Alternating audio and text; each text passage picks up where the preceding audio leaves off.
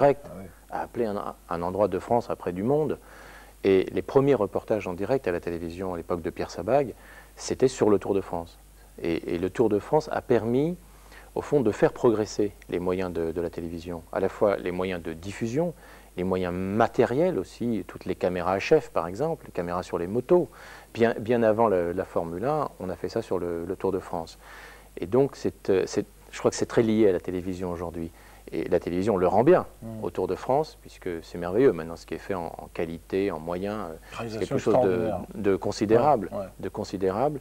Et tous ceux qui ont eu l'occasion euh, de participer, les gens de télévision qui ont pu participer euh, au Tour de France, à un échelon ou à un autre, vraiment disent que c'est une école formidable. Et en plus, pour le Tour de France, on pourrait le dire, je crois, pour tous les sports qui sont dits télévisés et des fois sur-télévisés, euh, au début, les gens avaient tendance à dire si c'est à la télévision, les gens vont pas venir sur les stades ou vont pas venir au bord de la route. Et c'est le contraire qui s'est passé. C'est une bonne remarque ah parce qu'on ah s'est demandé, oui, oui, ça c'est une chose qu'on retrouve ailleurs, ah effectivement.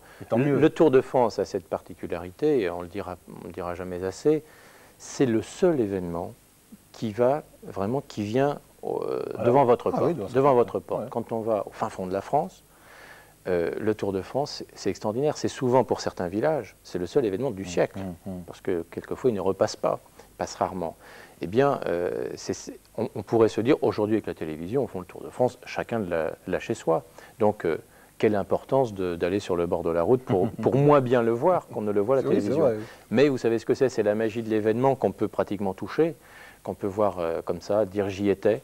Et c'est ce qui fait qu'au contraire, le Tour de France a plutôt amené encore plus de monde sur le bord des routes. Et le bruit d'un peloton qui passe Peloton, ah. la caravane fait beaucoup plus de bruit. Ah oui, oui, mais le peloton, c'est quelque chose de, de je dis bruit en disant, euh, il y, a une poésie dans le bruit du, peloton. Le bruit des rayons. Le bruit des rayons. On est à Thévenet, Tourmalet, c'est lié Non, peut-être pas. Ah, c'est lié parce que l'une des grandes victoires de Bernard Thévenet, l'une de ses révélations, c'est une étape de la Mongie, euh, dans le Tourmalet, parce que c'est un grimpeur, et euh, alors, parlons d'abord de, Bernard Thévenet.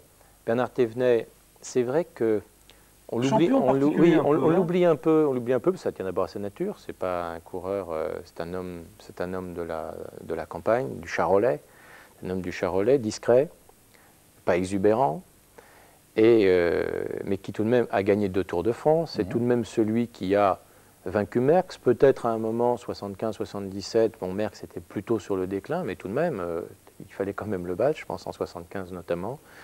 Et euh, donc Bernard Thévenet est un coureur très attachant, qui aujourd'hui d'ailleurs est, lui-même repassé à la télévision, de l'autre côté, et euh, qui connaît très bien le, vélo. Euh, je trouve que c'est un bon exemple de, ce coureur qui a franchi tous les échelons de l'équipe de France amateur, qui est resté longtemps dans le, dans le peloton professionnel et donc qui mérite quand même ce coup de, chapeau. Pour moi, ça reste un, très grand champion. Oui, je crois qu'il reste aussi dans, les mémoires, alors que peut-être d'autres euh, ont été un peu, un peu oubliés, non Peut-être à cause justement de sa espèce de gentillesse naturelle qui, passe bien euh, à l'écran. Hein. Quand on le voyait avec son, son bouquet, on, avait envie de l'applaudir, même assis dans son fauteuil à la maison. Bon, on a dit télévision, on a dit télé, FT, Tourmalet. Alors, l'école, oui. Euh, le Tourmalet, parce que on a tous en tête des noms de grands cols, alpestres ou pyrénéens on pense au Tourmalet, Lobis, Caspin, Persourde, mais on pense aussi Isoar, Vars, Galibier, Lautaret. Tout ça, ce sont des noms qui aujourd'hui ont donné une notoriété mais fantastique à tous ces cols. Je dirais que c'est une façon d'apprendre sa géographie. Quand on est gamin, c'est merveilleux d'apprendre ces cols. Je crois que sinon, d'ailleurs, entre nous, s'il n'y avait pas le Tour de France, je ne suis pas sûr qu'on connaîtrait aussi bien tous ces grands cols. C'est bien, si vous avez raison, ça fait un peu de la, pédagogie. Euh, le maillot du jour. Le maillot du jour, hein, encore un superbe maillot ils sont beaux ces maillots nationaux. C'est le maillot de la Tchécoslovaquie. Alors, malheureusement, là aussi, ce maillot n'existe plus aujourd'hui. Euh, eh bien, euh, qui a porté ce maillot On pourrait donner des noms. Jerry Daller, par exemple, euh, ou Jerry Skoda. Skoda qui s'est illustré sur le Tour de l'Avenir. Jerry Daller qui a été un coureur qui a été dans une équipe olympique notamment, qui a dû avoir un titre d'ailleurs, c'était en poursuite et qui a été professionnel chez les Italiens. Sinon, il y a encore eu peu là, de, coureurs, euh, si on compare avec les Russes par exemple, il y a eu peu de, coureurs tchèques euh, qui ont réussi euh, dans les rangs professionnels. Je pense que ça viendra aussi. Bien Xavier, on se retrouve demain à la lettre U. J'espère que nous aurons le système pour en parler bien. À demain.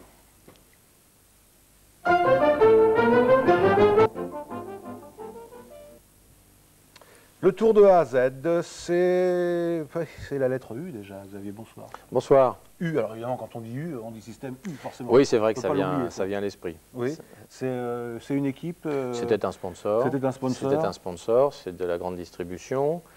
Euh, Laurent Fignon, notamment, a été hmm. leader de cette équipe. Il a même dû gagner le Tour de France sous ce maillot. Donc, c'est pour rappeler que la grande distribution, d'ailleurs, d'une manière générale, est, comme la télévision lui est interdite, mhm. euh, est un sponsor, euh, un parrain euh, habituel des, équipes cyclistes, amateurs ou professionnels d'ailleurs. donc, c'était logique de retrouver ce, ce, système U, qui était le système Guimard en même temps. Mais ce qui est bien, je trouve, dans, surtout dans le Tour de France, c'est que tout ce qui est la publicité est faite avec les parrains ou les sponsors. Euh, il n'y a pas un côté mercantile. On sent qu'il y a un échange. Euh, bon, ils font de la publicité, c'est normal. Le Tour de France, il faut de l'argent, c'est normal. Mais il y a une espèce de, convivialité où on mélange le sport, l'argent et, le, spectacle qui, ne fait pas malsain, comme dans certains sports. Oui, c'est ce qu'on retrouve quand même dans le parrainage. Souvent, le parrainage, il y a une implication d'ailleurs des, dirigeants des firmes en mmh. question. Bon, quand ils choisissent le golf ou, le tennis ou, le cyclisme, souvent ça correspond un petit peu à un goût personnel. Ils s'impliquent eux-mêmes. L'intérêt du cyclisme par rapport aux autres sports que j'ai cités, c'est que le cyclisme, il se déplace. Et donc, quand vous, vous existez, par exemple, sur un pays comme, comme la France, euh, et que vous êtes présent partout, l'intérêt d'avoir une équipe qui va aller euh, dans, au fin fond de la France. Euh, à ces quatre coins et qui va permettre de véhiculer votre image, votre marque, c'est un, un support idéal en fait. Donc ce qui explique que le cyclisme se prête bien à ce type de parrainage. Oui, on sent qu'ils sont contents d'y être. Si ça rapporte, tant mieux. Mais si ça ne rapporte pas, après tout, ah, le, plaisir le, plaisir d'y être euh, l'emporte souvent. Enfin, ils, préfèrent avoir des résultats. Oui, je m'en doute, bien sûr. J'ai eu, et je crois que ça va vous plaire, ça, j'ai eu comme UCI. Ça vous dit quelque chose, ça? Ah oui, ça dit quelque chose parce qu'il faut savoir qu'il y a, on a parlé de fédération, le cyclisme, et autrefois, euh, il y avait deux fédérations. Une fédération des amateurs, FIAC, Fédération internationale des amateurs de cyclisme, cyclisme amateur, pardon, pas des amateurs de cyclisme aussi, et puis FICP, Fédération internationale du cyclisme professionnel. Sachant que la langue française est d'ailleurs la langue euh, reconnue comme la seule euh, valable en quelque sorte dans le cyclisme. Ah, c'est une importante. Et puis il y a une fédération qui gère les deux, c'est l'Union cycliste internationale, mais qui n'était qu'un chapeau. Et maintenant, il n'y a plus d'amateurs, il n'y a plus de professionnels, il n'y a plus que l'Union cycliste internationale, donc fameuse UCI. Quand on en parle, les règlements, par exemple, sont faits par l'UCI, les problèmes de contrôle antidopage sont faits par l'UCI, et puis il y a un classement. Il y a un classement international des coureurs. Que vous connaissez bien ben, Je connais parce que je l'avais préconisé en 1983 dans un premier ouvrage que j'avais fait, dans Made in Tour de France. Et puis, euh, grâce au magazine Vélo, qu'il l'a repris aussi à son compte. Enfin, on, a travaillé dessus ensemble. Le magazine Vélo l'a proposé à l'époque à la FICP, donc à la Fédération professionnelle. Ce classement est devenu le classement des coureurs professionnels et aujourd'hui, il est en train de devenir le classement UCI, classement de l'Union cycliste internationale. Donc ça permet d'avoir un, argus à tout moment, chaque mois, euh, des coureurs cyclistes alors, est-ce que, je, reviens 30 secondes sur, le championnat du monde qui se court une journée, et le jour-là, il est le meilleur. Est-ce que ça, ça se rapproche un peu du classement de, Formule 1, des courses automobiles un peu, ah pour bah. arriver à, donner le champion du monde, euh, qui n'est pas forcément celui qui a gagné le championnat du monde? Alors, un euh, peu ça? Ça, s'en rapproche, euh, ça s'en rapproche avec une, variante. C'est-à-dire qu'on met des points en fonction des places. sur toutes les, grandes épreuves. Le Tour de France, d'ailleurs, parlons-en. Hmm et, la course qui donne le plus de points, mais également une, victoire d'étape donne des points. Le fait de porter le maillot jaune donne des points, hein, en fonction du nombre de jours. Et, donc, c'est ce classement de points qui permet à tout moment d'établir ce classement. Mmh. Alors, une différence avec d'autres classements qui existent dans d'autres sports, c'est que c'est en même temps un classement de notoriété, en ce sens que quand vous gagnez le Tour de France, l'année d'après, vous gardez une partie des points. Ah. Garder un tiers des points, moi à l'époque j'avais proposé 50%, puis 25% deux ans après. C'est-à-dire que vous ne disparaissez pas comme en tennis par exemple, en quelques mois du classement si vous êtes blessé par exemple. Vous restez un bon moment. Donc si vous avez eu des grandes victoires qui vous donnent de la notoriété, vous pouvez rester un moment avec de la méforme ou une blessure et rester néanmoins relativement bien placé dans, ce classement. Maillot du jour, il est beau aussi. Ah, c'est un maillot U comme USA. Euh, oui, c'est un très beau maillot. C'était un des maillots de, Greg LeMond quand il est venu sur le, Tour de l'Avenir. Et ça veut dire que le, cyclisme commence un tout petit peu à, poser ses, ses, calpiers aux États-Unis? C'est un petit peu décevant quand même. C'est un petit peu décevant parce que le cyclisme, la pratique du cyclisme fonctionne bien aux États-Unis, notamment on le voit avec le, VTT, ce qu'ils mmh. appellent aussi le, mountain bike là-bas. Mmh. Et malheureusement, au niveau de la, de, la, compétition, le Tour de France a un certain succès, il est retransmis à la télévision, encore qu'il est plutôt un peu moins retransmis qu'il n'a été euh, à une époque. Et euh, les courses cyclistes, il n'y a pas encore une grande course cycliste aux États-Unis. Ça, c'est malheureux parce qu'il y a eu des, tentatives d'essayer de faire l'équivalent du Tour de France, hein, même en restant modeste, mais quand même de faire des.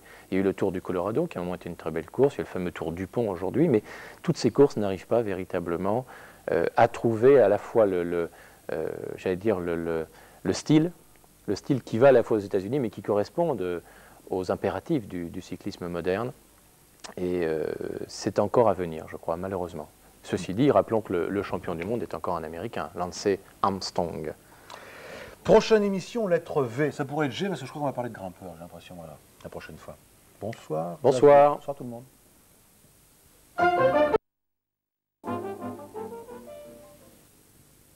Lettre V déjà, Xavier. On, entame la descente pratiquement vers, la lettre Z. Alors, lettre V, moi, j'ai vélo. On va sûrement parler de la technique du vélo. J'ai V comme ville-étape pour parler peut-être publicité des retombées euh, sur, sur, une ville-étape, parce qu'il doit y en avoir. Et puis, j'ai V comme, euh, v comme grimpeur. C'est parce que j'ai Van Nip et j'ai grimpeur écrit à côté. C'est pas par hasard, sûrement non plus. V comme Van Nip. parce que Van Nip, qui a gagné le Tour de France 1976, c'est sûr, 176. Qui c'est toujours, je pense que c'est ah, J'arrive pas, j'arrive pas. 176. Je pense, hein, on peut se tromper. Euh, Van Nimp, euh, qui était d'ailleurs euh, drivé par Cyril Guimard à l'époque, ce grimpeur belge, donc rappelons qu'il est belge. Mais, il y a beaucoup de montagnes, mais surtout Van Nimp, Van Nimp, il a l'image du, jockey. l'image du jockey, alors on verra quand on verra le maillot à poids, c'est un petit peu ce qui a inspiré ce, ce maillot à poids. et beaucoup de souplesse dans les jambes, très amusant assez reculé sur sa, sur sa selle quand il grimpait. Alors, c'est le type même du coureur qui devait à un moment gagner le Tour de France. Parce qu'étant grimpeur, il finissait régulièrement dans les cinq premiers. Et puis, au fond, il a suffi d'une année où il a à la fois, j'allais dire, un petit peu un concours de circonstances, un bon directeur sportif, l'absence de, l'absence des, des, grands euh, qui étaient à même de lui prendre suffisamment de temps contre la montre, par exemple, pour l'empêcher de gagner le Tour de France. Et il a fini un peu, j'allais dire, par, euh, par élimination ou au finish a remporté un Tour de France, qui était mérité d'ailleurs, c'est pas ce que je veux dire, mais en même temps, Van Nîmes ne laisse pas l'image d'un super champion du, cannibale comme Eddy Merckx, son compatriote. On a vélo, euh, parce que technique, c'est vrai que depuis quelque temps, il suffit de regarder les, machines, comme on dit, hein, ou, certains derniers euh, records de l'heure, de l'heure, pardon, les, machines ont changé quand même. Hein. Oui, alors ici, on a un vélo qui est, qui est, date un peu. Je rappelle que c'est le vôtre. Hein. et vous y tenez beaucoup. c'est le mien et c'était celui de Jacques Esclasson. Donc je le rappelle en 1978. Donc vous voyez, vous rendez compte les modifications qui ont mmh. été apportées. Alors déjà, ce vélo a eu quelques modifications depuis 1978. Les pédales, par exemple, ont été modifiées puisque maintenant on n'a plus ces, ces, pédales où il fallait avoir des, courroies, ça, mmh. ça, blessait les pieds. On a ces fameux systèmes qui sont euh, issus d'ailleurs du, du ski sont mhm. issus du ski, Donc, euh, avec des, blocages en fait, un blocage qui permet de retirer en termes de sécurité, c'est bien meilleur, mhm. qui permet de, retirer immédiatement le, pied. En fait, c'est très agréable. Alors, ne prenez pas mal, mais c'est déjà un vieux vélo, ça? Ah, C'est déjà un vieux vélo parce que, je vais vous donner un exemple. Euh, la selle déjà, on a maintenant des, systèmes d'appui fessier, sinon dorsaux pratiquement, qui permettent d'avoir un meilleur point d'appui au niveau mhm. du fessier nous avons des dérailleurs électroniques. C'est-à-dire qu'il ne devrait plus y avoir de manettes là. Euh, les manettes devraient être euh, cachées avec celles du frein et avoir un système d'impulsion électrique qui permet de changer automatiquement les, vitesses. Même chose, le dérailleur que l'on voit, la roue libre arrière. Il y a six dentures, ce qu'on appelle six, pignons si vous voulez. En fait, maintenant, on a des roues avec huit dentures. Le moindre cadet aujourd'hui, si vous voulez, un vélo avec euh, huit dentures. Donc, ce qui permet d'avoir un étagement plus important. Et les espèces de compteurs, là, c'est quoi Alors les compteurs, ça, ce sont des, mini-ordinateurs qui permettent de, vous donner euh, la moyenne, la moyenne, de vous donner bien sûr l'heure, euh, la vitesse instantanée, la vitesse maximum, enfin tout un tas d'informations. Mhm. Et puis on peut maintenant adjoindre aussi des, des cardiofréquences mètres. Vous avez votre rythme cardiaque que, vous affichez. Voilà, mhm. que vous affichez. J'ai parlé aussi des, euh, des écouteurs qu'ont certains coureurs qui permettent d'être en liaison avec le directeur sportif. Donc, et puis, alors, on pourrait, il manque aussi sur ce vélo euh, le fameux euh, guidon de, triathlète, qui là, je dois dire, pour une fois, n'a pas été une découverte du Tour de France, car beaucoup d'innovations viennent du Tour de France ou sont testées sur le Tour. Euh, le guidon de triathlète a été importé, comme son nom l'indique, par les, triathlètes, et c'est notamment Greg LeMond qui l'avait apporter en quelque sorte sur le, Tour de France. Mais avec toutes ces modifications, ne me dites pas qu'un jour on va mettre un moteur sur ce vélo quand même, non? C'est tout ce qui manque, effectivement. Mais vous savez que vous parlez de moteur, mais quand on a eu, il manque aussi, là on pourrait voir une roue, ce qu'on appelle une roue lenticulaire, une roue pleine. Euh, on a toujours imaginé qu'il y avait à l'intérieur de la roue ce qu'on appelle des maslottes, mmh. qui permettaient un effet, de, si vous voulez, d'entraînement, qui en quelque sorte vous, vous donniez de l'énergie qui après vous était rendue vous étiez restitué. On a toujours pensé que dans le record de l'heure, par exemple, dans certains records de l'heure, ça, euh, ça, a pu être utilisé.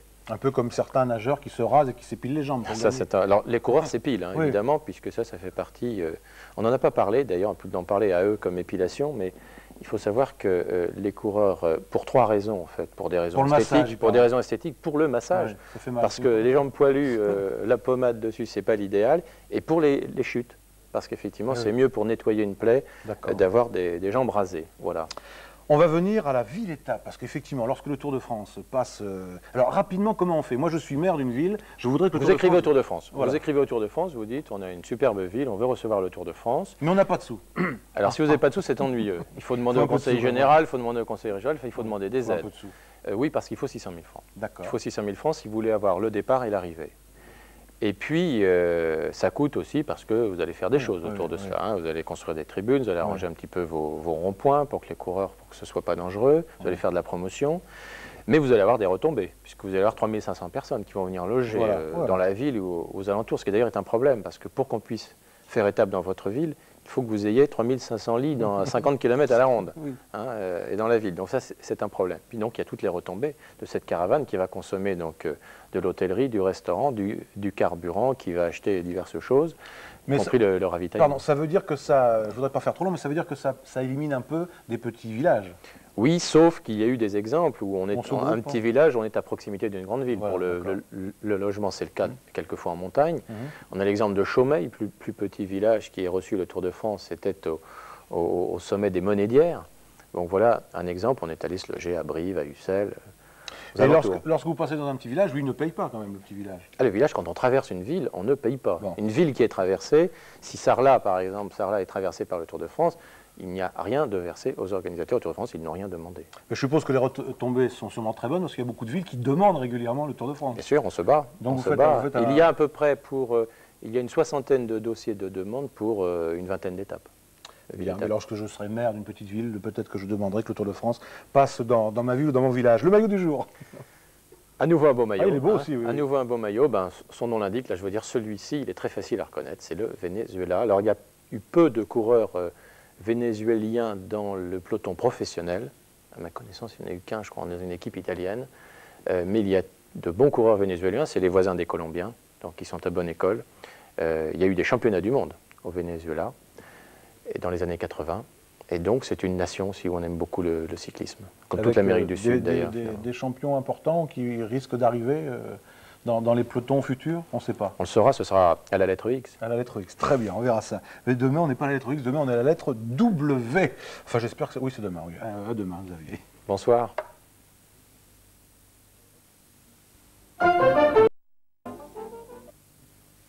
Bonsoir Xavier, bonsoir. Bonsoir. Ah, c'est quasiment la dernière ligne droite. Hein. W, on commence à s'approcher. X, Y, Z. Alors, euh, W, W, qu'est-ce que je vais mettre La Valkoviak. Oui, j'ai Valkoviak. J'ai. Euh, Vous savez que W, on aurait pu mettre, en fait, mais un tas d'inconnus. Tous les, Flamands, par exemple. Eh oui.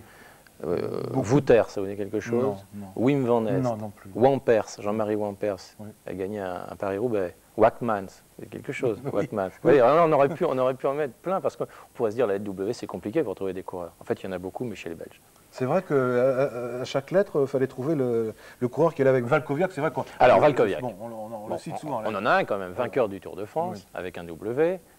Euh, Roger Valkoviak, qui, euh, qui, est un homme de Montluçon d'ailleurs. Montluçon qui a gagné le Tour de France. Vous savez quelle année c'était? Ah non, ah, non. 1956. Ah, j'étais né quand même, enfin bon, je me souviens pas. Donc, euh, il gagne le Tour de France en 1956, l'année avant Jacques Anquetil. Et on dit Valkoviak, c'est l'exemple même de, de l'inconnu qui gagne le, Tour de France. Et c'est resté, vous savez qu'il en est malade, il pleure à chaque fois qu'on lui parle de, de cela, parce qu'en fait, c'était un coureur qui, était, euh, qui pouvait être parmi les favoris du Tour.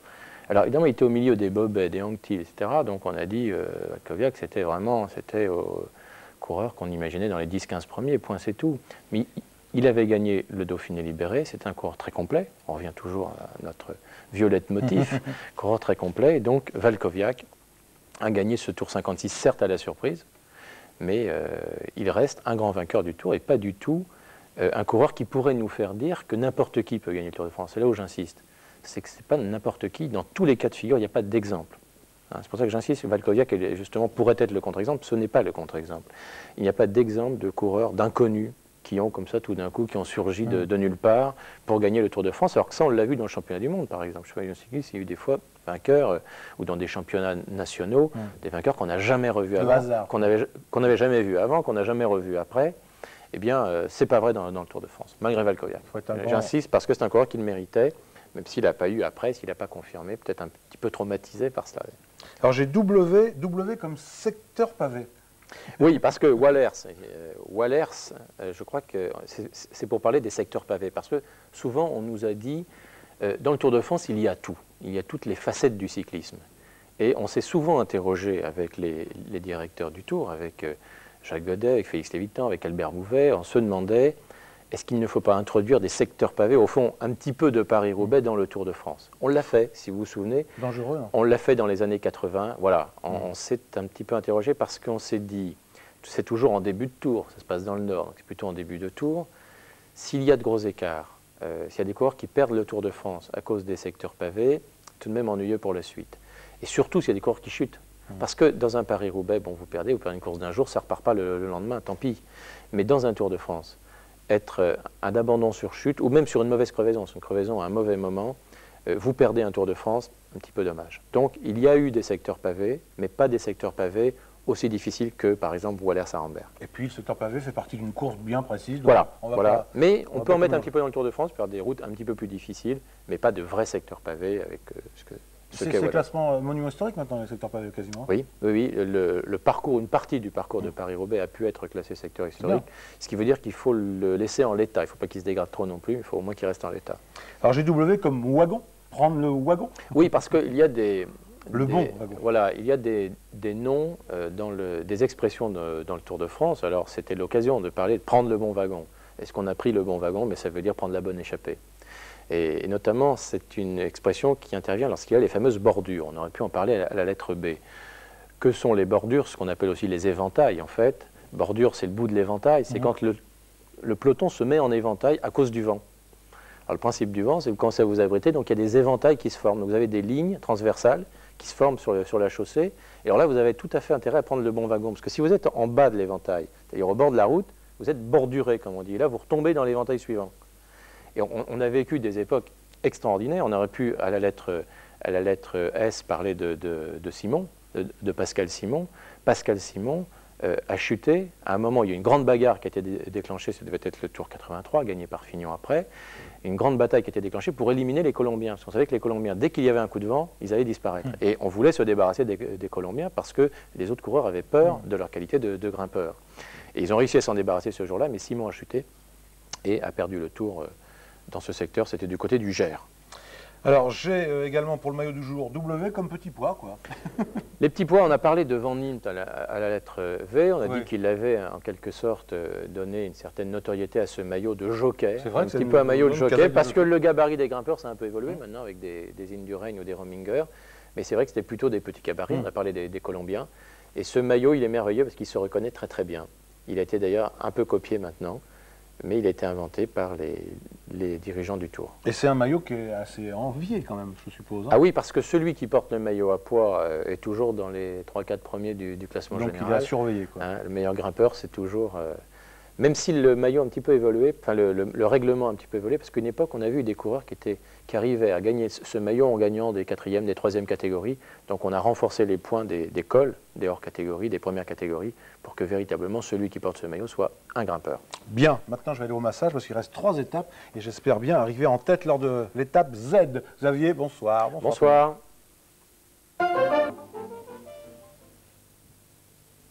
Nous y sommes, et comme dirait Léon Zitrone, pénultième émission X. Bonsoir Xavier. Bonsoir. Et X comme Xavier, Xavier Louis justement. Et moi j'ai X prochain vainqueur, comme le prochain vainqueur, point d'interrogation. Euh, c'est pas mal non plus. Hein, Monsieur X. Monsieur X. il s'appelle comme ça en principe, Monsieur X, quand on essaie bah, de, supputer? C'est vrai que c'était pas très facile à l'être X, effectivement. Ah, il n'y a pas de coureur ayant. non. vous avez bien cherché.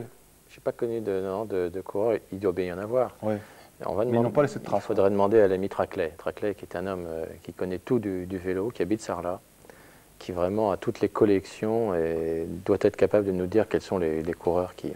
Alors, est-ce que les, futurs vainqueurs, je ne dis pas ceux de, cette année ou de l'année prochaine, mais les futurs vainqueurs, est-ce qu'on commence déjà à les repérer dans les jeunes euh, coureurs Oui, on, sait, on en revient toujours à notre. Euh, alors, je ne vais pas reprendre la longueur des fémurs, on pourrait d'ailleurs aussi, mais euh, en revanche, on pourrait prendre les coureurs qui sont à la fois grimpeurs, mhm. rouleurs, qui ont le sens de la course, bons descendeurs, habiles, habiles sur leur vélo. Alors, on en a quelques-uns. On en a quelques-uns qui sont déjà dans, le peloton. Mais le problème, quand on pense aux jeunes qui peuvent gagner le Tour de France, souvent, eh bien, ils, ne, tiennent pas leurs promesses. Mhm. Et on, a, on est déçu. Je pense à Régis Sauvion, à l'époque, champion du monde, vainqueur du Tour de l'avenir, le nouveau copie, on, le voyait déjà gagner facilement le Tour de France, il n'a jamais réussi dans, le Tour de France. Euh, on, pense, euh, on pensait à Brochard l'année dernière, bon, Brochard n'a pas, euh, n'a pas concrétisé. On, a passé, on a pensé à Jourdain à un moment, bon, on a pensé à, Jean-François Bernard, qui était quand même proche, lui, de, remporter le, Tour de France, puis bon, il n'a pas concrétisé. Et puis, pardon, je, suppose aussi qu'en plus des qualités que vous venez de, citer, d'évoquer, il faut aussi être capable de se dire je vais euh, passer une partie de ma jeunesse à faire autre chose que d'aller m'amuser avec les bah, copains, aller en boîte. bien, sûr, bien sûr, bien sûr. Il y a ça aussi comme qualité. Bien sûr, il y a ça. Il y a le fait, bon, il y en a, il y en a qui ne qui n'arrivent pas à passer du stade de bon amateur au stade professionnel. Mm. C'est une course complètement différente. Petit exemple technique. Un bon amateur, il faut une course amateur, il faut rouler vite pendant de, de longues heures mais on est toujours au même régime. Mhm. Il y a peu de changements, de variations de régime. Ce qui surprend les coureurs qui ont été de bons amateurs quand ils arrivent chez les professionnels, c'est que tout d'un coup, ils ont l'impression que la, course n'avance pas. Mhm. Et puis, il y a des moments où ça roule à 60-70 à l'heure, où là, eux ne sont pas prêts à cela. Il y a donc toute une habitude à prendre, et il y en a qui n'y arrivent pas. Il y en a qui, physiquement, n'ont pas cette, capacité, sont capables de rouler très vite, ce qu'on appelle des compteurs bloqués, en quelque mhm. sorte, euh, et puis qui n'arrivent pas à, se faire aux variations de rythme qui sont, qui sont euh, très, très violentes. Alors, on a évoqué avec tous les maillots qu'on a vus pendant toutes ces émissions les, équipes nationales. Euh, on commence à voir beaucoup de gens qui viennent un peu de partout, euh, Amérique du Sud, euh, les Japonais. Alors, X comme xénophobie.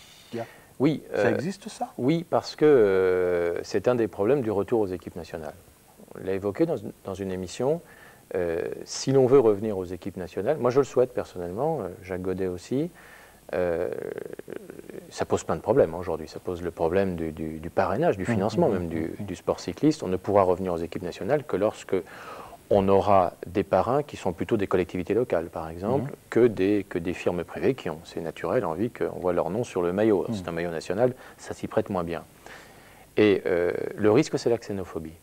C'est qu'effectivement, on ait les incidents qu'on a eus avant-guerre, avec notamment euh, le, Tour en Italie ou le Giro, sur le Giro, les, problèmes qu'ont eu un, Bobet, par exemple, sur, le Tour d'Italie, problèmes qu'on a connus enfin, dans tous les pays. Il n'y a pas de pays qui sont plus, euh, plus chauvins que d'autres, je, crois, en la, matière.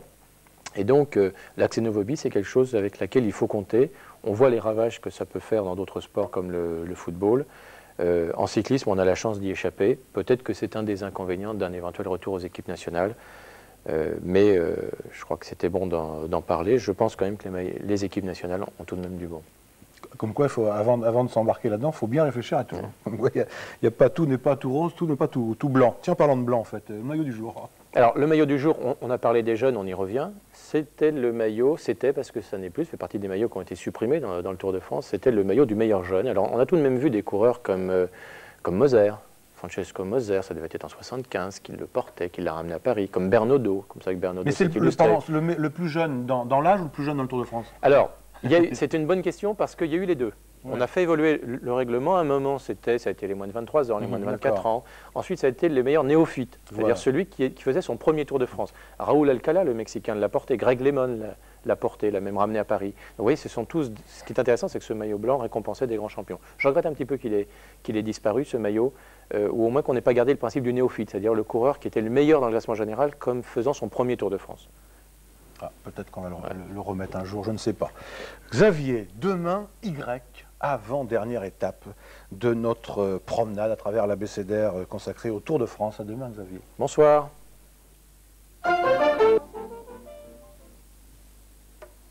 Le Tour de A à Z, nous sommes à la lettre Y. Bonsoir. Euh, si mes souvenirs sont bons, c'est l'avant-dernière étape de notre promenade à travers. Ah, si on croit bien hein l'alphabet, effectivement. j'ai l'impression que vous avez triché un peu. Parce que moi, hmm. je vois Y comme Madio. Comme Yvon. Ah, Yvon, ah, Yvon Madio, oui, parce que c'est le frère de l'autre. j'ai bien compris. Alors, si on parle des frères Madio, on peut parler des frères Madio. Et Marc et Yvon. Marc et Yvon, j'ai compris. Mais on pourrait peut-être parler des frères dans le Tour de France. On va en profiter un peu. Hein. Voilà, c'est effectivement, vous avez tout compris. il y a quoi? Il y a les frères Madio, il y a les frères Simon, il y a les frères. alors, il y, en a, il y en a plusieurs. on ne va pas faire ici. on pourrait parler des frères Peterson qui ont été champions olympiques par équipe. Extraordinaire, ça, champion olympique, les frères Peterson, les Suédois. Il y a eu les frères Plancart ils sont nombreux, puis il y a, même les, neveux maintenant, Plancart. Euh, il y a eu euh, les frères euh, donc Madio, il y a eu les frères Simon, je crois que c'est intéressant, parce que les frères Simon, ils ont été quatre à un moment professionnel, mais ils ont été trois ensemble dans le Tour de France. je crois que c'est le record, c'est resté le, le record, puisqu'il y avait Régis Simon, Jérôme Simon et Pascal Simon. Pascal Simon, on en a parlé, qui aurait dû pratiquement gagner un Tour de France, Pascal. il n'a pas eu de chance l'année où il devait gagner le Tour de France, il a eu une malheureuse chute, on en a parlé, dans le Gers. Et il a donc, euh, après, il n'a pas réussi à, remporter ce tour. Alors je pourrais faire une mauvaise plaisanterie en parlant de frères siamois, mais euh, j'imagine par exemple deux frères, jumeaux, deux frères jumeaux qui se ressemblent. On pourrait faire le Tour de France en même temps. Eh bien, figurez-vous qu'il y a une anecdote extraordinaire dans l'histoire du Tour. Ne me dites pas que vous en avez une. Non, il y a une anecdote extraordinaire. Alors ça remonte vraiment au tout premier Tour de France, je ne dirais pas si c'était 1905, 1906 ou 1907. Euh, vous savez qu'à l'époque, euh, bien sûr, il n'y avait pas de voiture suiveuse, vous imaginez, il y avait des contrôles. Hein, les coureurs, on leur mettait un, tampon, comme on fait dans, certains rallyes, vous savez. Et puis, donc, il y avait des contrôles intermédiaires, puis des contrôles aléatoires, des commissaires, les dirigeants de, l'époque, Géo Lefebvre, Desgranges, etc., qui se cachaient pour voir si les coureurs faisaient bien le, parcours. Et ils ont mis dans un Tour de France, pratiquement tout le Tour de France, pour euh, découvrir un subterfuge. Il y avait deux frères jumeaux deux frères jumeaux. À chaque fois, il y en a un qui faisait l'étape en train et l'autre sur le vélo. C'est extraordinaire. Ils ont mis un temps considérable pour arriver, je ne sais plus d'ailleurs quelle est la, raison qui a permis de, découvrir le, subterfuge. Ben oui, parce que là, ils, étaient en train de, gagner le Tour de France. Vous imaginez faire une, étape sur deux, surtout à l'époque où il fallait partir très tôt le matin, finir très tard le soir. Il y en a un qui pouvait prendre le train, c'était mieux. J'ai l'équipe nationale, mais je crois qu'on en a beaucoup parlé pendant toutes ces émissions. Bah, l'équipe euh, nationale, c'était plus pour, euh, j'allais dire, évoquer ce maillot un petit peu étonnant qu'on a, qu'on a aujourd'hui étonnant parce qu'il parce qu'il est plein de symboles en ce mhm. moment, c'est le maillot de la Yougoslavie. autant dire que lui aussi, comme beaucoup de maillots qu'on a montrés curieusement euh, depuis le début de notre émission, n'existe plus. Et euh, pour montrer que ce n'est pas évident de faire des, équipes nationales, euh, quand on a, pas, on a parlé de xénophobie, mais on pourrait parler aussi justement de la difficulté quelquefois de réunir même des, équipes nationales, puisque on a des coureurs, des fois on a des, des rivalités simplement d'hommes, mais on peut avoir des rivalités régionales. Faire une équipe d'Irlande aujourd'hui, pour le championnat du monde d'ailleurs, c'est pas facile. Euh, on pourrait prendre un tas de, pays où ce n'est pas évident euh, de réunir véritablement des équipes nationales. On sait que c'est pas facile, mais je sais que vous avez un peu la nostalgie de ces, équipes nationales. Xavier, euh, on fait quoi On va se faire masser, on va regarder la mécanique, parce que demain c'est la dernière étape, oui. dernière ligne droite. Alors, dernière étape, c'est aussi la tradition dans la dernière étape, ce qu'on appelle la distribution des prix. Alors, je ne sais pas si nous, on aura une distribution des prix, mais dans la dernière étape, dans le Tour de France, il faut le savoir, la remontée sur les Champs-Élysées, d'abord, généralement, les coureurs chantent la, chanson de, de Jodassin. on verra demain si nous avons de la voir. On essaiera demain, je ne suis pas sûr, on verra bien demain. Bonsoir.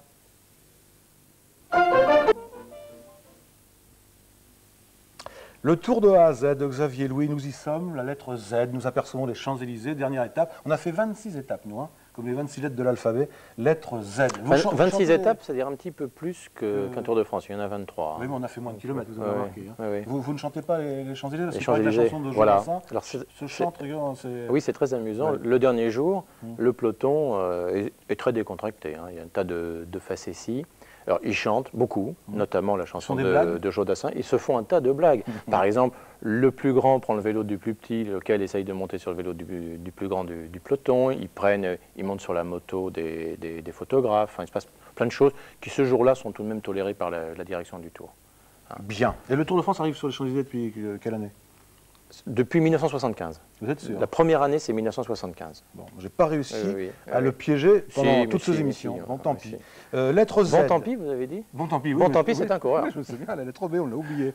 Alors, il y, en a, il y en a un, la lettre Z, j'espère que vous ne l'avez pas oublié, parce que moi, on m'a soufflé son nom. J'ai Z comme Zoutmelk. Il y en a deux. Il y en a deux J'ai Z comme zone de ravitaillement. Oui. J'ai Z il y en a trois même. Il y en a trois Il y en a trois. Hein. Dites-le-moi, celui auquel je pense. Zaf Zaf, oui. Zulé Ah, je ne le connaissais pas celui-là. Ah, Zulé, c'est l'actualité. Et l'équipe Z et l'équipe Z. Ah, alors on commence par qui? Par Zoutmelk bah, Zoutmelk, parce que Zoutmelk, on a eu l'occasion de dire à l'occasion, quand on a parlé de Raymond Poulidor, que Poulidor avait le record des podiums. Mmh. Zoutmelk arrive juste derrière, parce qu'il a un très grand nombre de places de second et de troisième. Mais Zoutmelk, il a un petit plus, il a gagné le Tour de France. Il a ah gagné le, Tour de France. Et euh, ce qui fait qu'il a un petit avantage sur, euh, sur Raymond Poulidor. Puis c'est un coureur très attachant, d'autant plus attachant qu'il a eu un très grave accident dans, un midi libre et qu'on a vraiment cru, vraiment qu'il était perdu. Et il a réussi à revenir non seulement euh, à la vie, mais en plus à redevenir un grand champion. Donc ça, c'est puis un coureur vraiment sympathique qui a, qui épousé une Française en plus. C'est un homme qui a du goût.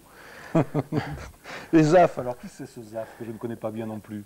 Zaf, alors il y a toute une histoire sur Zaf. C'est un, coureur euh, je ne sais plus d'ailleurs, vous arrivez à me coller. Ah, bien, marocain ou algérien Au moins une fois. Oui, maghrébin. marocain. Bon. Marocain. Euh, et puis, euh, il, il, il, a eu un problème dans une étape. On ne sait pas trop d'ailleurs, on n'a pas su si c'était de l'alcool ou autre chose, parce que l'alcool, la chose est arrivée après. Enfin bref, il a, il a beaucoup souffert de la chaleur. Il s'était échappé, il a tellement souffert de la chaleur qu'il s'est effondré dans un ravin. Et là, il y avait, c'était du côté de, de Béziers, les paysans avaient euh, sous la main des bonbonnes pleines de, de, gros rouges. Et pour le, ramener à la, à la vie, ils l'ont aspergé de gros rouges. Et alors, quand le peloton est revenu avec les médecins, etc., ils ont découvert le coureur qui sentait la, vinasse. C'est extraordinaire. Et depuis, on a dit que c'est à cause de ça qu'il était complètement rond, en fait. Et, il semble que non. Alors, ce qui était dramatique, c'est comme il était de, confession musulmane, il n'a jamais pu revenir dans, son pays. Ça, c'est beaucoup plus dramatique. On, on connaît moins la fin de l'histoire alors qu'il semble qu'en fait, ce n'était pas du tout dû à, l'absorption du vin. Zone de ravitaillement, ça c'est important aussi. Zone de ravitaillement, il faut savoir qu'il y a des zones euh, qui sont délimitées dans lesquelles on a droit au ravitaillement des musettes, puisqu'on a rappelé que les boissons, c'est à, tout moment dans, un Tour de France.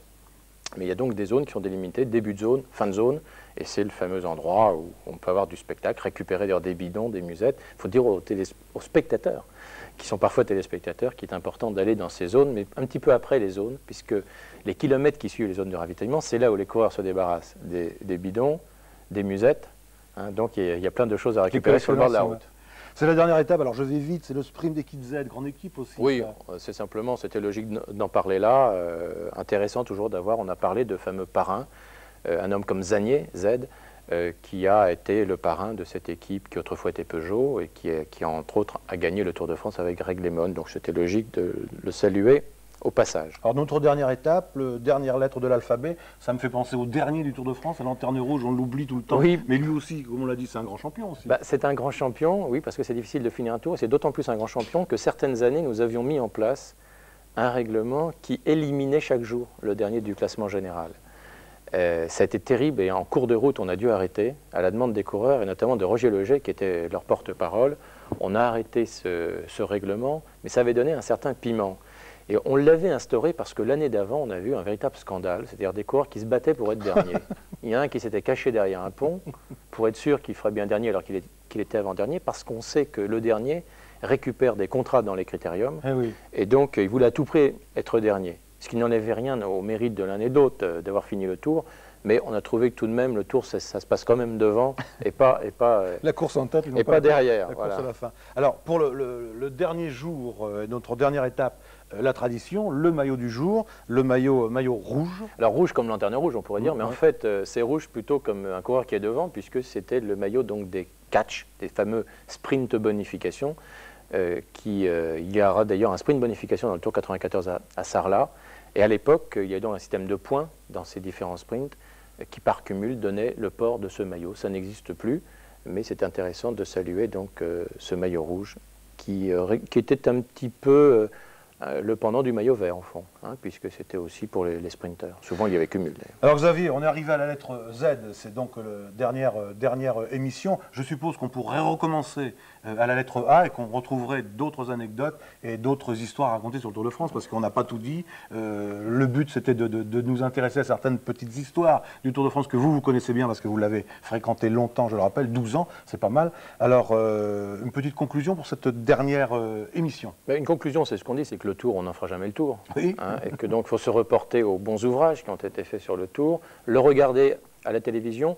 Ce qu'on a voulu surtout, c'est, je crois, aider le téléspectateur à mieux comprendre de tout ce qu'on ne voit pas, c'est-à-dire à imaginer tout le décor du tour, toutes les coulisses du tour. Je crois que si on y est un petit peu arrivé, tant mieux. Et on peut remercier euh, tous les auteurs qui ont écrit des livres qui sont là, on peut leur faire de la publicité parce qu'il y en a beaucoup qui n'existent plus. Il y a vos deux livres que, j'aperçois, Xavier Louis, Madine Tour de France, on pourra en parler aussi.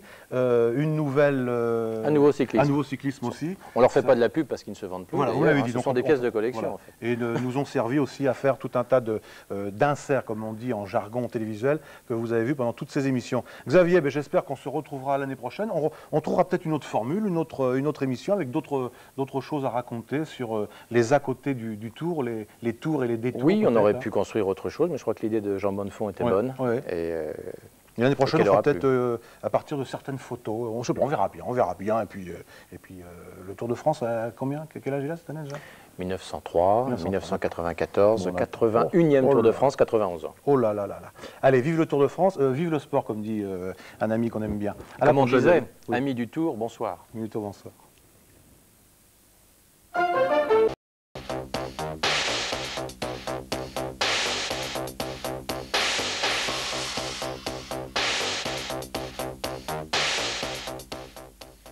Bonsoir, bienvenue pour cette émission. Donc, euh, Jalma, vous le disiez à l'instant, notre invité est Monsieur Xavier Louis. Bonsoir, Xavier Louis. Bonsoir. Jelma disait à l'instant, euh, il a parlé de vous euh, en, associant votre nom au Tour de France. Euh, bien sûr, nous aurons l'occasion d'en reparler. Mais vous êtes également, et c'est également à ce titre que je vous reçois ce soir, adjoint à la ville de Sarlat, adjoint chargé de la communication, de la culture et de l'antenne parisienne. Un petit mot sur, ça, puisqu'on en parlera longuement à la, fin de l'émission. Alors, ce rôle d'adjoint, ce rôle d'adjoint, bah, depuis 1989, les Sarladais ont souhaité que la liste conduite par Jean-Jacques de Peretti euh, prenne les destinées de la ville, et dans cette liste, euh, j'en fais partie. Euh, Jean-Jacques de Peretti m'a confié la responsabilité de la communication. C'est un petit peu ma profession, même beaucoup. C'est votre passion et votre profession. Voilà, exactement.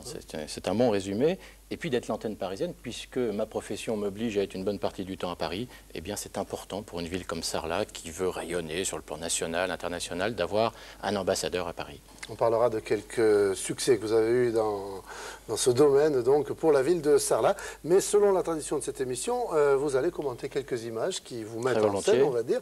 C'était hier. Hier, Jean-Marie Leblanc, le directeur du Tour, était à Euh, il y aura d'ailleurs un sujet dans le journal tout à l'heure présenté par Gilles Ray. Euh, c'est vous qui l'avez accueilli. Donc si vous le voulez bien, on va se retrouver euh, hier au local du, Tour de France. Allons-y pour les images que vous commentez, si vous le voulez bien. Nous sommes là effectivement à l'endroit où est installée la permanence du Tour de France, sur la commune de, Trélissac, au bord de la Nationale 21. C'est un chalet. Il y a d'ailleurs un très grand panneau qui vous annonce que le Tour de France viendra les 10, 11 et 12 juillet. Et là, nous avions une réunion, une rencontre avec la presse, vous y étiez, euh, Jean Bonnefond, pour euh, voir comment associer au mieux la presse locale à, cette venue du Tour qui est, vraiment exceptionnelle en Périgord. On aura l'occasion de le dire tout de suite. Et donc dans ce local, euh, où tout le monde est invité d'ailleurs à venir, à passer, il y a un téléphone, on peut le donner, le 53 35 08 08, on en profite. N'hésitez pas à faire part de vos idées. Euh, nous avons besoin aussi de, de main-d'œuvre, en quelque sorte. Ça, c'est le logo. Il y a un logo, on est resté très peu dessus. Alors là, devant le petit vélo, là, vous partez euh, rejoindre. Alors, nous partons accueillir Jean-Marie Leblanc, donc directeur général du Tour de France, qui est en fait mon successeur au Tour de France. Jean-Marie Leblanc qui arrivait de Paris pour une réunion qui avait lieu dans le centre de Périgueux. Voilà, euh, on voit l'ATR d'Air Littoral qui euh, arrive à Bassillac. et Aki TV est présent. Alors vous reconnaissez, voilà, Jean-Marie qui a d'ailleurs est venu avec sa, cravate du Tour. Patrick Pougnet qui est à, qui est à sa gauche, qui, euh, Patrick Pougnet qui est le délégué général de l'association. Et Jean-Marie nous faisait remarquer combien il faisait beau en Périgord. Il y avait beaucoup de monde à cette Alors oui, ça c'est tout à fait exceptionnel. Ah, j'ai été très agréablement surpris. Euh, d'abord des personnalités qui étaient là. On attendait une cinquantaine de personnes, il y en avait 150 à 200. C'est Francis Colbach qui rappelle euh, la fondation de, l'association. Valentin Huot à gauche. Valentin Huot qui est président de l'association, ancien champion de France.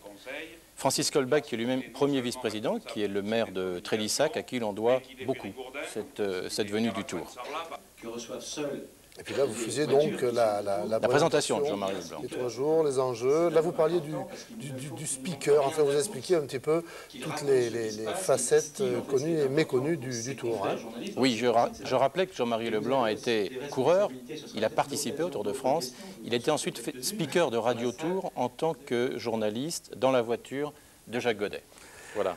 Alors, ce tour, euh, tout le monde a souligné que c'était tout à fait exceptionnel, que le tour reste trois jours euh, en Dordogne, vous confirmez? Ah, tout à fait. Euh, nous, avons, nous en parlions hier avec Jean-Marie Leblanc. En dehors des, des, départs du tour, par exemple en Vendée l'année dernière, dans le Nord cette année, où le tour fait un prologue, une étape, deux étapes, le tour reste trois jours dans ces cas-là. Mais ça coûte très cher d'ailleurs au département en question. Ça coûte dans les 5 à 6 millions de francs. Pour le départ, hein. pas, pas pour la Dordogne. Pour le départ, non, justement. Et la Dordogne a réussi cette chose merveilleuse, c'est d'avoir pour 1 million 200 000 francs, puisque c'est le prix de deux étapes, on peut le dire, c'est tout à fait public, d'avoir trois jours le Tour de France, puisqu'il y aura le 10 juillet l'étape Futuroscope euh, Trélissac, avec l'ensemble du reportage télévisé sur la Dordogne, puisque le tour passera par Nontron, Brantôme, Sorges, Cubjac avant d'arriver à Trélissac. France 2 prendra l'antenne en gros lorsque le tour rentrera en Dordogne. Voilà, voilà, voilà ça, euh, c'est ce qui va se passer. Le lendemain, c'est ce merveilleux contre-la-montre qui va être le premier grand rendez-vous du tour entre Périgueux et Bergerac, en passant par Vers, le pays de la fraise, puis en finissant par le Bergeracois et le pays du vin. Et puis notre chance, c'est que Jean-Marie Leblanc a voulu faire un détour par Sarlat pour rejoindre Cahors. Vous l'avez incité un petit peu? Je l'ai appris le jour du tour. c'est très gentil à lui et il fait un grand détour par Sarlat, si bien que nous verrons, euh, nous verrons d'abord, euh, bien sûr, il y aura le passage entre Bergerac et Sarlat, et l'antenne doit être prise à Sarlat. L'antenne sera prise à Sarlat, si bien qu'on verra encore le Périgord le 12 juillet. Voilà, je vous sens, je vous sens heureux d'annoncer ce, genre de choses. C'est difficile de, monter des coups comme ça, puisqu'on peut, on peut dire ça. Hein.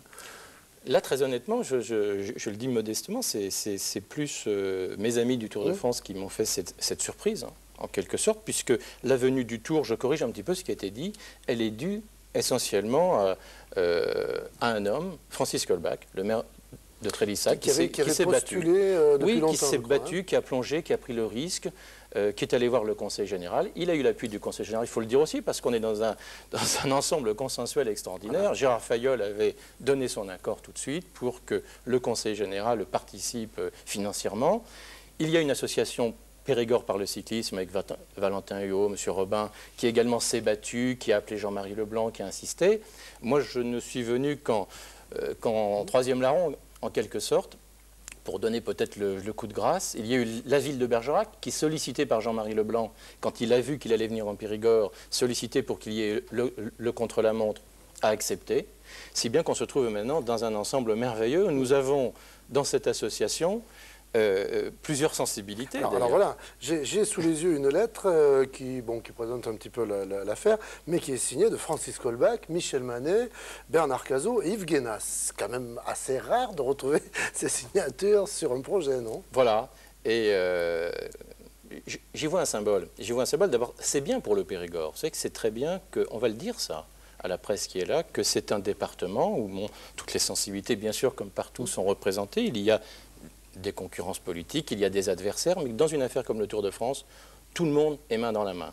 Et c'est au fond le symbole du cyclisme. Moi, ce qui m'a plu toujours dans, le cyclisme, à la différence de beaucoup d'autres sports qui sont des sports où on est face à face. Tous les sports d'équipe, on est face à face. Et souvent, c'est relativement agressif même. Dans le vélo, il n'y a pas d'ennemi dans le vélo. bien sûr, on veut devancer l'autre. On veut gagner, on veut franchir la ligne d'arrivée avant l'autre. mais on roule côte à côte et on roule dans la même direction. Et souvent, il y a une entraide extraordinaire dans un peloton. On se passe un bidon dans, une côte, on se passe euh, un, outil dont on a besoin pour réparer sa, machine. C'est parce que c'est dur euh, oui. qu'il y a cette entraide comme ça Parce que c'est dur et parce qu'aussi il y a je crois que le fait d'aller dans la même direction, ce qu'on retrouve dans, un marathon par exemple, dans la course le fait voilà, de rouler groupé dans une même direction, on n'est pas face à face. Et je crois que ça change beaucoup de choses.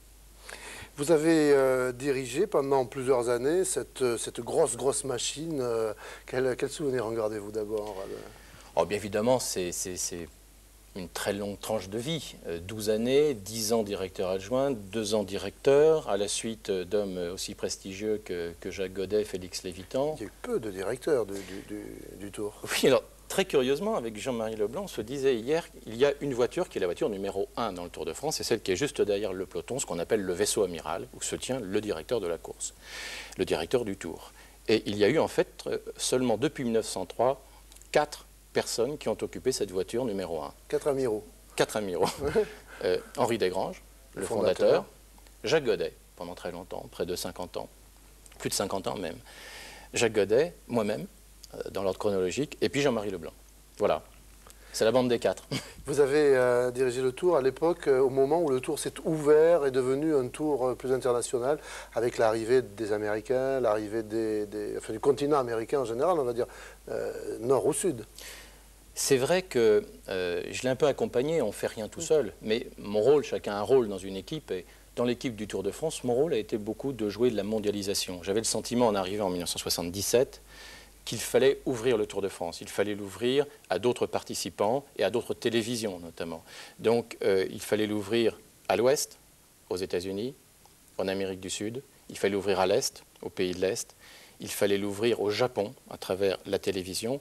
Tout cela, c'est ce que nous avons fait entre 1977 et 1984, qui a été une année un peu charnière en la matière. Et c'est vrai qu'à travers le Tour de l'avenir, mes voyages en Colombie, aux États-Unis, euh, dans les pays de l'Est, sur la course de la paix, j'ai personnellement beaucoup contribué à cela et c'est une de mes fiertés. La victoire de Greg LeMond, c'était la concrétisation de, c'est la suite du, Tour de l'avenir en 1982. La victoire de Greg LeMond en 82 dans le Tour de l'avenir, suivie par une victoire dans le Tour de France. Voilà, on retrouve euh, toute cette euh, page de l'histoire du cyclisme dans ce livre que vous avez écrit, Un nouveau cyclisme, qui raconte ça en particulier. C'était en 1986. Je montrerai tout à l'heure un autre livre, puisque vous avez écrit deux livres consacrés au, au cyclisme. Je vous propose de passer à suivre l'actualité de cette semaine. On va s'éloigner un petit peu du Périgord, mais c'est une affaire qui passionne tout le monde, en Périgord comme ailleurs. L'Olympique de Marseille vient d'être euh, rétrogradé en deuxième division interdit de, ah non pas interdit de Coupe d'Europe, euh, euh, Bernard Tapie, que vous avez connu, on va en parler, euh, est interdit de, de, présidence. On va regarder un sujet que nous avons emprunté à TV5, avec leur accord bien sûr, sujet que vous pourrez voir dans le journal de France 2 ce soir. Regardez. Hier soir, la fin de l'attente. Désormais, tous connaissent les sanctions prises par les 26 membres du Conseil fédéral. En ce qui concerne le club, elles sont maximales. Concernant l'Olympique de Marseille, rétrogradation en deuxième division pour la saison 94-95, mais maintien de son classement à l'issue de la saison 93-94 et si les résultats sportifs le lui autorisent, la Fédération française de football proposera son inscription aux compétitions européennes. Ainsi, l'OM jouera en Division 2 la saison prochaine, une descente terrible pour le club champion de France en 93. Le club qui conserve cependant son classement actuel du championnat 94 et il pourra donc sans doute participer à une Coupe d'Europe. Bernard Tapie peut et veut faire appel de cette rétrogradation en deuxième division devant le Conseil d'État. Bernard Tapie, justement, pour lui, c'est une suspension de sa licence de dirigeant pour une durée indéterminée. Tapie radié qui là encore fera appel de cette décision devant le comité national olympique français. Reportage euh, France 2, donc euh, à travers TV5 euh, Europe. votre sentiment sur le plan de l'affaire en général? On parlera de Bernard Tapie, que vous connaissez relativement bien, en suivant. L'affaire en général, je trouve qu'elle dure trop. Je crois que maintenant, je pense qu'on a tous les éléments. Moi, je ne les connais pas. Euh, je suis moi-même euh, commissaire international dans le cyclisme. Donc je sais ce que c'est. J'ai participé à des commissions sportives nationales. On a les éléments. On peut trancher assez vite. Et je regrette que là, on, attende aussi longtemps et qu'en plus, la justice traîne autant. Parce que le risque est effectivement que la justice rende un verdict différent. Et alors là, on est dans un imbroglio, euh, évidemment, qu'attend Bernard Tapie. Quel, est le scénario qui peut se produire s'il y a un non-lieu ah bah, Il peut demander dommage et intérêt. Il peut demander dommage et intérêt si, par exemple, il y avait un non-lieu. mais ça pose un autre problème qui est très compliqué qui est de savoir si la justice sportive, si la juridiction sportive l'emporte sur la, sur la juridiction civile. Aujourd'hui, ce n'est pas évident. C'est pas évident. On considère que quand vous prenez une licence euh, dans n'importe quel sport, vous devez accepter, c'est l'échange de, votre licence, vous acceptez les règles sportives et la juridiction sportive. Et que vous n'avez pas le droit, d'ailleurs c'est écrit dans, toutes les, tous les, statuts des, fédérations, vous ne pouvez pas poursuivre votre fédération. Alors, justement, maintenant, tout cela est remis en cause. C'est ce que Bernard Tapie essaye de, remettre en cause déjà. Il l'avait obtenu en partie gain de cause, vous vous en souvenez, à, Genève. Euh, mais on risque d'arriver dans une situation très, très, très complexe. En revanche, ce qui demeure, c'est qu'a priori, ça ne se passe pas très bien dans, le football. Euh, c'est un sport, malheureusement, il y a beaucoup d'argent, probablement trop d'argent, ce qui amène à ces, à ces dérives. Bernard Tapie, euh, vous l'avez croisé de très près, donc, puisqu'il était euh, le patron de Louk et le patron de Bernard Hinault, entre autres. Je l'ai connu avant. d'ailleurs. Oui, je l'ai connu avant. J'ai connu Bernard Tapie, il était complètement inconnu. D'ailleurs un, garçon de, Calviac, Patrick Darnay, un, Périgourdin, qui m'en avait parlé. On s'occupait de l'équipe des chômeurs, l'équipe à l'époque qui était l'équipe des Amis du Tour de France. Et on cherchait un sponsor pour euh, bah, aider cette équipe que nous soutenions à bout de bras, nous Tour de France. Et on m'a parlé d'un patron de la vie claire, un dénommé Bernard Tapie, qui venait de, faire un petit peu parler de lui avec l'affaire Bocassa, avec, euh, avec Manu France à l'époque. Et euh, par personne interposée, donc on a su qu'il voulait venir dans le vélo, mais qu'il ne viendrait qu'avec les meilleurs. Sa stratégie, c'était je veux Platini, Hino, Noah et Prost. Le premier qui se présente, je le prends. Et c'est comme ça qu'il est arrivé dans le vélo. Il y a eu Bernard Hinault. du sport voilà. Il y a eu Bernard Hinault, il est arrivé. Alors j'ai bien connu Bernard Tapie. Et on a eu de nombreux, souvent, on s'est retrouvés dans des, dans des dîners. Alors c'est un type étonnant parce que il vous, il vous apprend tout. C'est-à-dire qu'il vous explique. Nous, on est là dans, le vélo depuis des années. Il arrive, il y est depuis, euh, depuis trois semaines. Il vous dit Votre truc, vous, n'avez rien compris au vélo. Moi, je vais vous expliquer le Tour de France. Et il a raison ou il est matamor? Il est intéressant. Il est intéressant parce qu'il interpelle. Bien sûr, il en rajoute. Il, il fait toujours dans l'excès, Bernard Tapie. Et en même temps, moi, ce qui m'avait sidéré d'entrée de jeu, je me suis dit, ce type-là est fait pour faire euh, de la politique. Et euh, un jour, je, lui dis, je lui dis, toi, ton truc, c'est la politique. Il me dit, moi, la politique Il dit comme ça, jamais, tu m'entends bien Jamais la politique. C'est extraordinaire. J'y repense tout le temps. C'était il y a dix ans, ça. Il y a dix ans. Et euh, en plus, c'est un, un personnage qui, je ne le prends pas pour un magouilleur. C'est plus subtil que ça. Euh, toute sa technique, c'est qu'il connaît très bien la réglementation. On le voit encore ces jours-ci. Quand il reprend une entreprise aussi, il a une fantastique connaissance du, droit des, faillites, par exemple. Donc il joue avec les textes. Et il, est très retors. Dans le cyclisme, moi je ne peux pas dire, d'abord, on, ne s'est jamais débarrassé de Tapie, contrairement à ce qu'a dit le président de Caen. Le cyclisme n'a pas rejeté Bernard Tapie. C'est lui qui, à un moment, a voulu faire autre chose. Voilà, et Bernard Hinault marchait plus, etc. Bon, il est passé à autre chose. Mais je l'ai vu faire des choses dans le vélo qui n'étaient pas. C'était de la triche, quoi. Bon, il, jouait avec les règlements. À, la marge. Voilà, c'était à la marge. Mhm. Hein. vous savez, comme, le, comme le, joueur qui tombe dans la surface de réparation pour essayer de. Voilà, voilà hein, qui essaye d'obtenir un penalty. C'est un peu ça, Tapi. Est-ce que euh, cette affaire, euh, entre sport et politique, hein, est-ce que cette affaire de l'OM peut disqualifier Bernard Tapie, homme politique J'ai le sentiment que Bernard Tapie, euh, je vous dis, j'ai toujours cru à son avenir politique. S'est toujours moqué de moi quand je, le disais il y a dix ans, parce que je crois qu'aujourd'hui, la communication, la médiatisation est quelque chose d'essentiel.